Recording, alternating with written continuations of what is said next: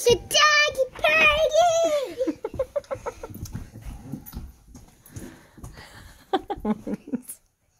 let go of her collar. Caroline, let Ethan let go of her. All right.